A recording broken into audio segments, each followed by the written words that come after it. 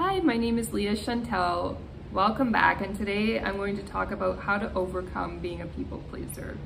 Now, the reason I'm discussing this topic is that a lot of intuitive, empathic, and spiritually minded people can accidentally become people pleasers. Not because they're not strong or not independent, but they may have just had very demanding authority figures in their lives when they were growing up. This could be your parent, it could be an older sibling, it could be teachers or other authority figures in your life, maybe neighbors, or if you went to a church, there could have been a demanding person there. Wherever you spent a lot of intimate time as a child and there was a demanding authority figure, in any of these places, we can start not only developing our intuition because we are trying to read the situation and read people and anticipate their needs so we're not being threatened by their unmet needs. But also we develop people-pleasing skills because we abandon our own needs in order to feel safe and secure around these demanding adults. And if we're not careful and we've experienced these patterns in childhood, we could be taking them into adulthood by mistake. And how can we overcome that? How can we not take those people pleasing patterns with us and become whole, independent adults? I see this pattern a lot among my generation and younger people as well. We do live in a tough environment these days, at least in my country things are very expensive. A lot of people are living with their parents even into their 30s and beyond.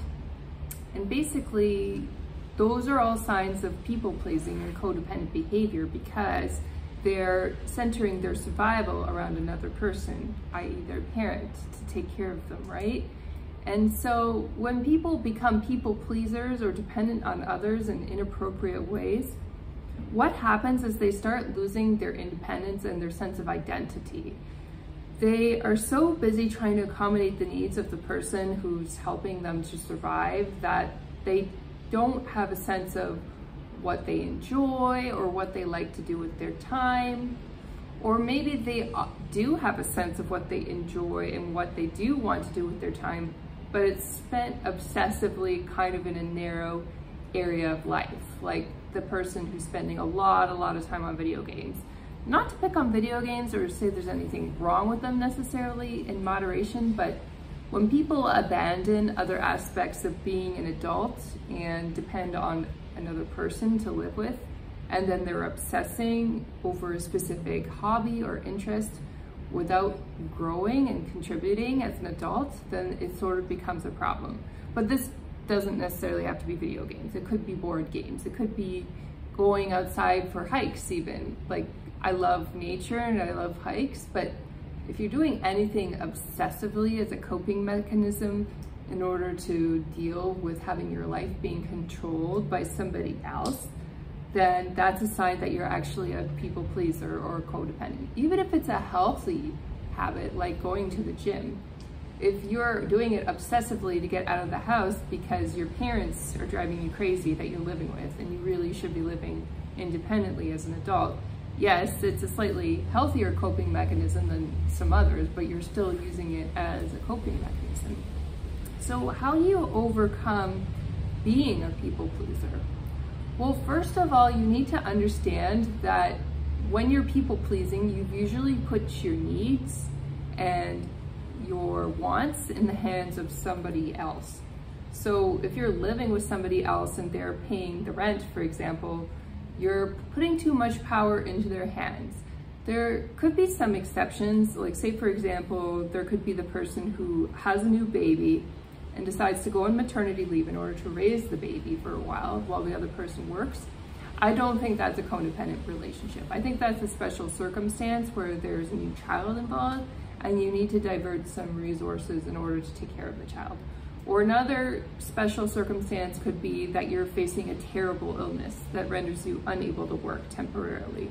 Again, that can be another special situation where you do become appropriately dependent on someone else. And again, the other situation would be being underage and needing to go to school. But aside from these situations, when you're an adult, you should be able to take care of your own needs. You should be able to survive by yourself. And if you're not able to do that, that could be a sign that you have an attachment to somebody else that's too great, that you're people pleasing and trying to win them over inappropriately to take care of too many of your needs. And what happens to people with these habits is that they'll actually behave in the same way that they do for their loved one that they're trying to accommodate in new relationships. So if you have an over a habit of overgiving to a parent that you're living with because they're the ones paying the rent, what may end up happening when you grow up and you decide to have a mature relationship, if you never overcame that emotional pattern inside of you, you may start overgiving to your partner. You may not be waiting for them to come halfway or to offer anything into the relationship. And if you're the one overgiving and then you complain about it, that's actually your fault. You're the one messing up your own relationship because you were overgiving in the first place. And that can be a subtle way a really good relationship can deteriorate. Especially as women, we're particularly vulnerable to this because I think we're raised in order to take care of everything, the cleaning, the cooking, and all that around the house. Sometimes men get that kind of upbringing too, but not that often. We get most of it as women. And then basically we can move on into a relationship where we're overgiving and we're caring too much for a partner if that's what we needed to do for our parents when we were living at home with our parents. And to a certain extent, having responsibilities growing up, there isn't anything wrong with that.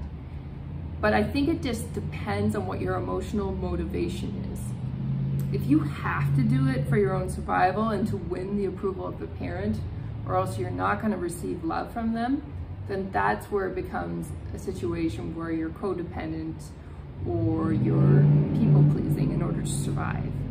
If you're doing it because you feel it's constructive and it will help you grow and it's the right thing to do, then that's a good motivation. And parents shouldn't shy away from giving kids responsibilities, but for the right motivations. It shouldn't be something that you do as a condition to receive love, right? That love should be unconditional. But sometimes we don't feel that way as children. Even sometimes parents could say the right words and they say we love you unconditionally, but for some reason emotionally the undertone is maybe they don't, right? And so kids can still fall into these people pleasing patterns that they have to overcome as adults. And how do you overcome it? Well, first of all, the very basic things is you have to learn to take care of your own needs. So if you're relying on a partner to validate you or to please you in some kind of way or to take care of you, you need to learn how to do those things on your own and not with a partner. Or if it's a family member or a friend who's doing these things for you, you have to learn how to do all these things independently because that's going to take the pressure off your relationships.